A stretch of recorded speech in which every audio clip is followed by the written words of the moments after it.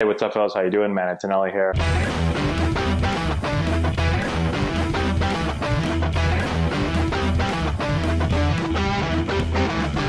Okay, today we're going to talk about uniforms at the major league level. How do you get your number? How do you get sized correctly?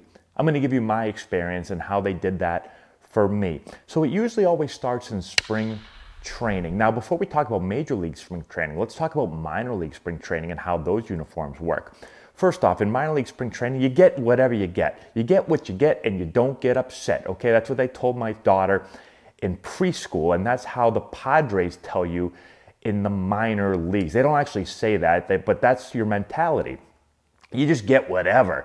All right, so you you do not walk in there and say, "Hey, you know, I'd like some some tighter pants that go down to my cleat." No, no, no. They just throw you a pair of pants, and if you like it down at your cleat, it doesn't matter. They're gonna throw you pants where you get tweeners, like you know, this high above your ankle. You're gonna feel like an idiot. I know you need to look good to play good. At least that's what I said. You're not gonna look good, so you got to figure it out. You got to use a different type of mentality.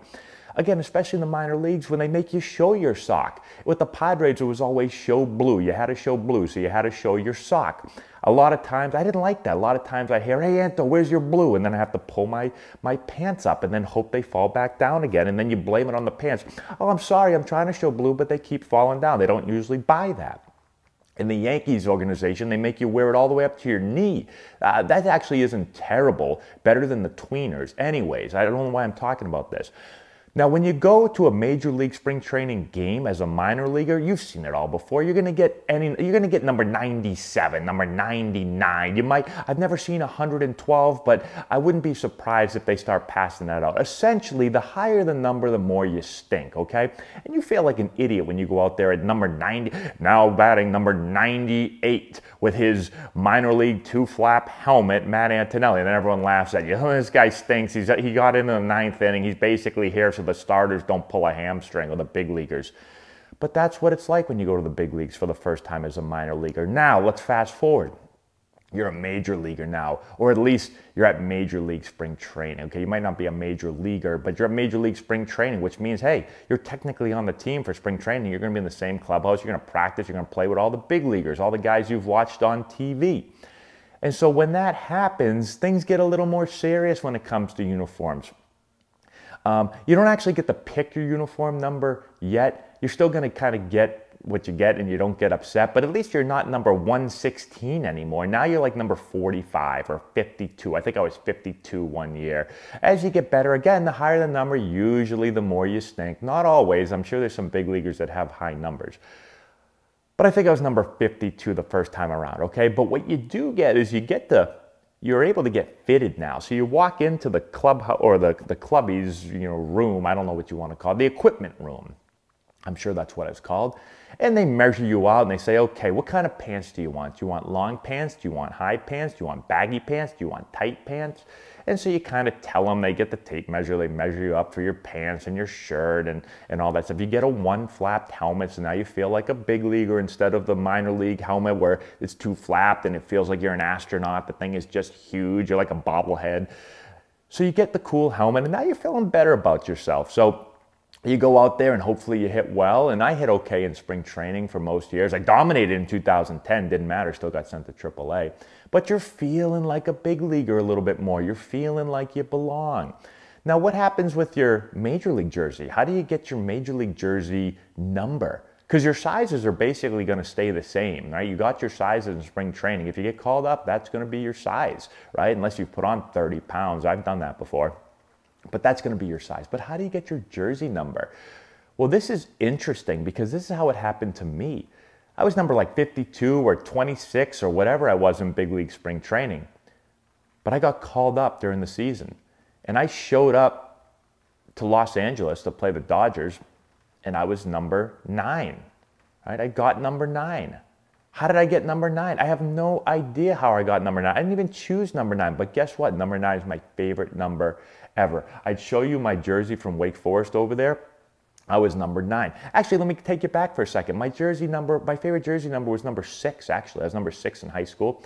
I went to college to be number six, and Doug Reapy had number six. And I was like, no, he's a senior. I can't get number six. What do I do? I flip it upside down, and I'm number nine, you know, Ted Williams. So it actually wasn't terrible that I was able to be number nine. It became my favorite number.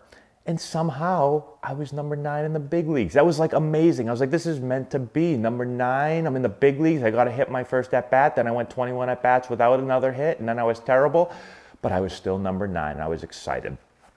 So that's how I got number nine. Now, what happened after that?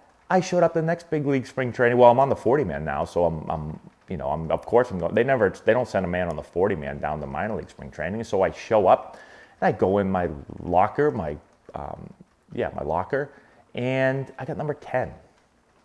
I'm like, number 10? Why, where's number nine? I don't, I don't like 10. I like single digits. I never want to be a double digit number. I want to be a single digit number. Uh, well, Ted Simmons, who is a really good baseball player, an excellent baseball player, had become, I think, our bench coach. Uh, and Ted said, Hey, I want number 10. He didn't say that to me. I'm sure he showed up and said, uh, or he said, I want number nine. I don't, I don't want number 10 or number 28 or whatever. I want number nine. Oh, this bum over here. Who's Manny Never heard him. Give me his number. And so, you know, it's like the, it's, it, it wasn't exactly like this, but it felt a little bit like, you know, you're, you're walking down the, the hall in school and some big big guy, a lot bigger and stronger than you, takes you and he slams you in your locker and he says, Give me your lunch money. And then he locks you in there and then you're banging on it all day long and nobody finds you until the teacher at the end of the day is walking by and they're like, What is this I hear screaming? And then they let you out of the locker. They can't figure out your lock at first, so they got to call the janitor and he's like, What a, little loser here, stuck in his locker with no lunch money. Anyways, that's what it kind of felt like. I'd gotten my lunch money taken from me, but at least it got taken by not just a bully, but a really, really good player. So I, lo- I lost number nine. I never got the, I never got anything. It wasn't like he was like, hey, I'll flip you this Rolex or I'll give you whatever. He was just like, give me, give me your number. Um, he didn't even say that. He just took it. Okay, he just took it from me. So I was number ten, and uh, I continued to be number ten until we traded for Miguel Tejada. Now, Miguel Tejada was one of my favorite players growing up. I grew up with Derek Jeter, Nomar Garcia Garciaparra, Alex Rodriguez, Miguel Tejada. Did I say that already? Tejada, Nomar, Jeter, A-Rod. Okay, I'm sure there was more, but those were like my dudes back in the day. And so I was like, oh man, we got Miguel Tejada. That's really cool. And uh, Miguel came in and was like, I want number 10. um, he didn't ask me again. He didn't ask me. He just told the club, he's like, I want number 10. And they were like, he was like, who's this bum, Matt Antonelli, with number 10? Like, give me his number. And so I was no longer number 10. I was, I don't even know what number I went to, okay, because I got non-tendered shortly after that. But Miguel had number 10, and, and he didn't come up to me and said, like, hey, you want a Rolex? You know, you want some money? You want, uh, you want my autograph? Nothing. He just said, give me the number. And so uh, I didn't give it to him, but I got stuck in my stuffed in my locker again. I got my lunch money taken. Um, and then I transferred schools because I was like, I hate this school. I get stuck in the locker every day. I can't even eat lunch. So I got sent over to the Nationals and uh, I never got to the big leagues again. So I don't even know how it worked over at any of the other teams. Okay, that's just how it worked with the Padres. So hopefully that gives you a little bit of insight. If you have more questions on uniforms, uh, let me know. If you want to send me any money, um, I could use lunch. Um, so that's all I have. Thank you so much for watching. Subscribe to the channel. Give it a thumbs up, all that good stuff. We'll talk to you later. If you've enjoyed this video and want to learn more about building the elite swing, check out our new course. We have over two hours of content, almost 30 hitting drills. We break down the exact mechanics that you're going to want to implement into your swing. I've put the link in the description if you want to go check it out.